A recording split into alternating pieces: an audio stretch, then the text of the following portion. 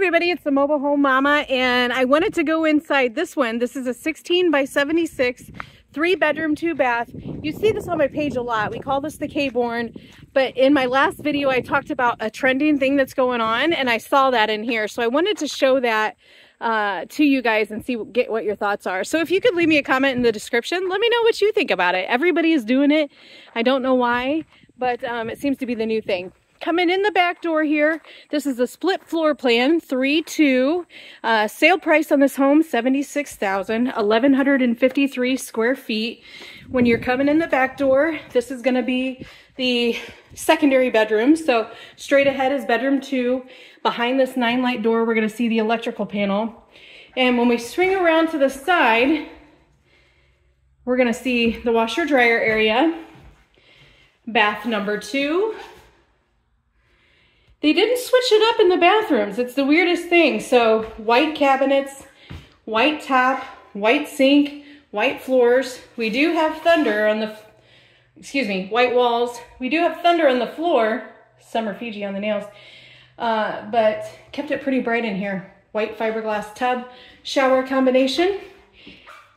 Here's bedroom three. This seems to be the larger of the two bedrooms. It's shaped differently. So it's longer instead of wider. You will always find the water heater in this closet here.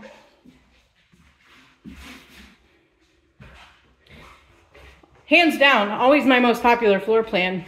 There's so many things you can do with this one. And what's great is you got a very short hallway here. Coming in the back door, you can see it's only got enough room to put the furnace Really not necessary to add a window in this hallway because it's so short. And as soon as you get into the living area, we're wide open with plenty of windows. Now, I just had a customer here today doing an appointment. She had some really cool design ideas. She likes the double windows. So what we're going to do is we're gonna do a double window there, a double 30 by 61, and enlarge these just like these two are here because this is going to face out into her yard. She's also going to um, fence it in and put a pool there. So yay. Uh, I love you guys and your ideas. You come here, with just some really cool thoughts and it helps me. I appreciate you so much. This has always been a great entertainment wall. I'm standing at the edge of the kitchen so you can see how wide open this living area is. This is technically the front door. I came in the back because it was easier to come in that way. Here's what I want your opinion on. What do you think? Different, different, different everywhere. So Casper Cashmere on the wall.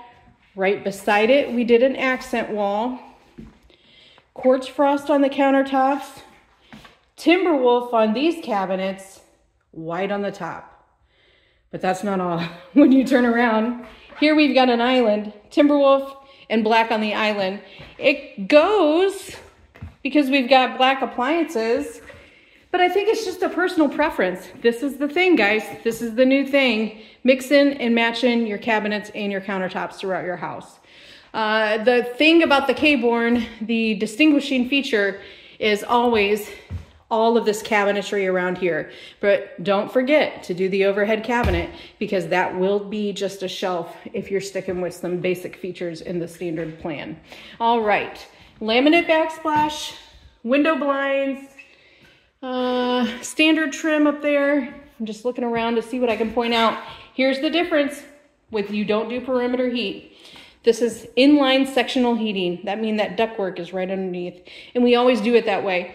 But when you do perimeter heat, there would be extensions that run out to the inside perimeter of the walls, putting your heat registers up against the wall. So for example, imagine if this was your entertainment wall and let's say you've got a sectional that you want to put right here.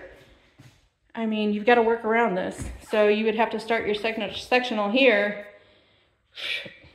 I mean, it just, it inhibits you in some ways, but it's a personal preference. Don't mind me. I'll do whatever you tell me to. Here's the primary bedroom. This floor plan has a very good sized primary bedroom. It's gonna get a little dark here. I'm stuck between two houses. A deep closet. Do a shirt and skirt rack, please, guys. A nice cutout in here. Remember, I can do cabinets or you can bring your own. And they kept it white in this bathroom too. You can do a dual sink if you wanted to. You don't have to because me and my new friend Melissa, we have lots of hair products, so we would fill that thing full of stuff. And then everywhere you put a sink, guys, you're gonna get a three bulb light strip. Change that out to a two arm bath vanity light. They just look a lot more classy. Um, but again, that's personal preference. I'm just gonna, when you come and you visit with me, I'm just gonna do some recommendations and show you some differences. I'm in this dark bathroom, but here's the shower, two-seater, no door. Nobody wants to clean those doors.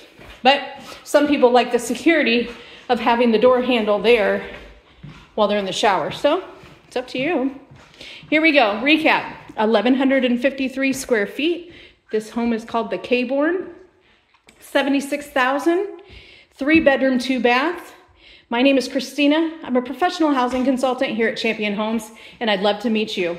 You can schedule right into my calendar, right on my main homepage, and uh, you can reach me at 260 383 1009. Have an awesome weekend, guys. Thanks for watching.